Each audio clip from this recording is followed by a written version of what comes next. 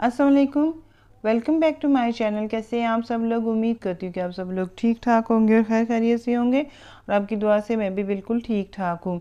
तो आज के व्लॉग का आगाज़ नाश्ते से हो रहा है और पूरे एक महीने के बाद जो है मैं ब्रेड की शक्ल देख रही हूँ क्योंकि रमज़ान में मैंने बिल्कुल भी ब्रेड नहीं खाई थी और रमज़ान में मैंने एक चपाती सालन के साथ लेती थी सहरी के टाइम और पूरे एक महीने के बाद जो है मैं यहाँ पे ब्रेड जो है अपने नाश्ते के लिए तैयार कर रही हूँ।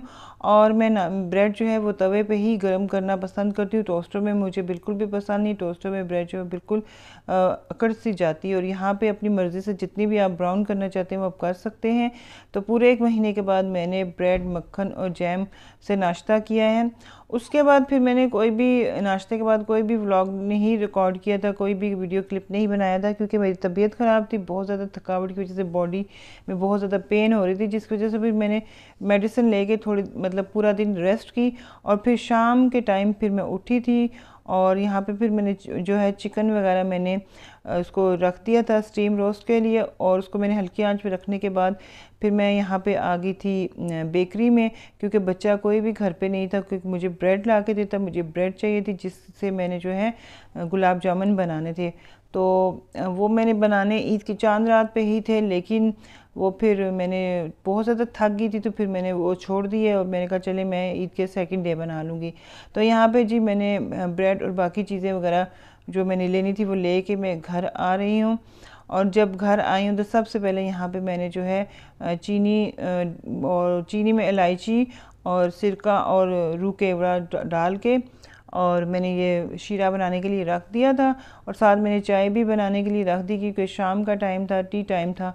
और यहाँ पे जी मैंने ब्रेड जो लेकर आई थी, उसको मैंने उसके जो ब्राउन साइड थी, वो मैंने कट कर दी थी और बाकी जो ब्रेड थी, उसको मैं यहाँ पे तोड़ के एक बाउल में डाल रही हूँ।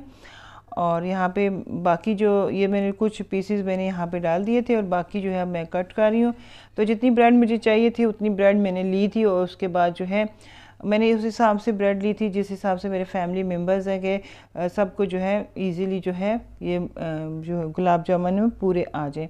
तो यहाँ पे साथ साथ जो है मैंने चाय भी जो है वो कप्स में डाल के अब सर्व करने के लिए जा रही अपना कप मैंने जो है किचन में ही रख दिया था। और बाकी घर वालों के लिए फिर मैं ये चाय जो है उनको देने के लिए जा रही थी। जो जहाँ जहाँ बैठा हुआ था, वहीं वहीं उसकी चाय मैंने देने, दे दे आई थी। उसके बाद फिर जो ब्रेड थी, ये जितने पीस मैंने कट करने थे, कट करके तो उनको मैंने अच्छे से मसल के तोड़ दिए थे और उसके बाद उनमें दूध डाल के इसको जो है मैं एक आटे की तरह गूंद दी उसकी एक डो मैंने तैयार कर ली थी और इसको तैयार करने के बाद अच्छी सी सॉफ्ट सी डो मैंने इसकी तैयार कर ली थी ताकि ये जो मेरे गुलाब जामुन है, ये ना ज़्यादा हार्ड हो, ना ज़्यादा सॉफ्ट हो के टूट जाए। तो उसके बाद मैंने इनकी फिर जो गोलियाँ छोटी छोटी सी बना के तो उसके बाद ये मैंने प्लेट्स में रख दी हैं। साथ ही फिर मैंने एक पैन में जो है ऑयल रख दिया था कि वो थोड़ा सा गर्म हो जाए। तो उसके बाद ये देखिए शीरा भी मेरा जो है तैयार हो गया है। तो इसका स्पून जब मैंने हाथ लगाया तो वो गर्म था और उसके बाद वो जो है बीच में गिर गया स्पून इसका। तो फिर मैंने कैमरा ऑफ़ करके उसका स्पून भी निकाल दिया।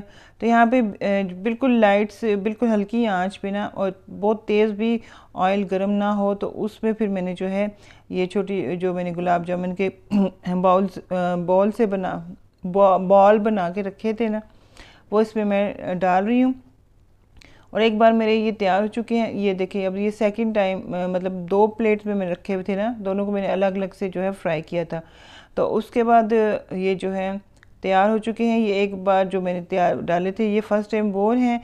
उसको जब सारे तैयार हो गए तो उसको फिर मैंने एक डिश में निकाल दिया और उसके बाद उसके ऊपर शीरा डाल रही हूँ। शीरा डालने के बाद इसको मैंने जो है छोड़ दिया था। जितनी देर में खाना वगैरह मतलब खाना था। क्योंकि वो शाम के टाइम बताया, आपको बताना भूल गई थी कि डिनर था, कुछ मेहमा, मेहमानों को जो है वो इनवाइट किया हुआ था, उन्होंने आना था।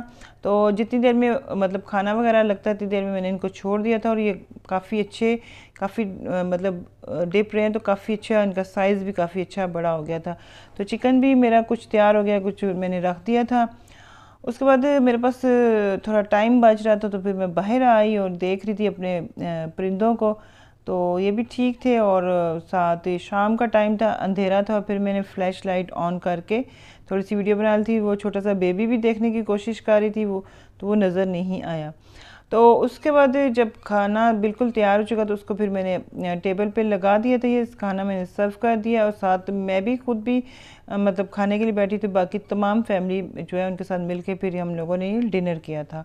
तो बस इधर तक ही था आज का मेरा व्लॉग, क्योंकि उसके बाद मैं बहुत ज़्यादा थक चुकी थी। मेरी आजकल तबीयत बहुत ज़्यादा ख़राब रहती है तो इस वजह से फिर इतना ही व्लॉग मैंने बनाया था।